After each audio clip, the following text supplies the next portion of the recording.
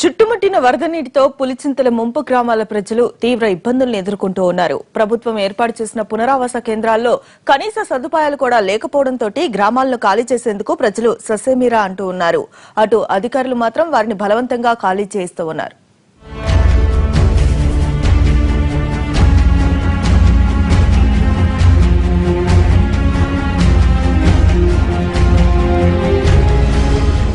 ఇది పులిచింత ప్రాజెక్టు ముంపు ప్రాంతాల పరిస్థితి. గత వారం రోజులుగా కురుస్తున్న వర్షాలకు ప్రాజెక్టులోకి భారీగా వరద నీరు చేరుతోంది.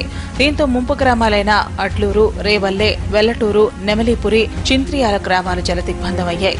ప్రభుత్వం పునరావాస కేంద్రాలు నిర్మించినప్పటికీ మౌలిక సదుపాయాలను మాత్రం విస్మరించింది. ఫలితంగా ప్రజలు సొంత గ్రామాలను వదిలి వెళ్ళడానికి ఇష్టపడటం లేదు.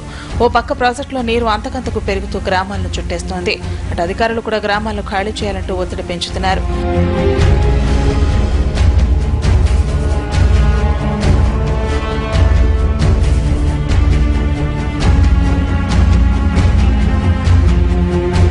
ఎలాంటి సౌకర్యాలు లేని పునరావాస కేంద్రాలకు వెళ్ళలేక నీట మునిగి గ్రామాల్లో ఉండలేక చాలా కుటుంబాలు వీధిన పడ్డాయి.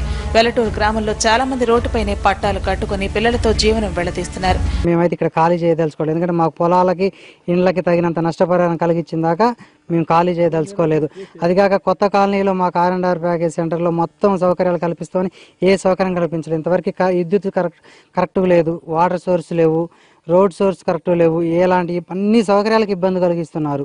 కొత్తగా కట్టించారు కానీ ఏం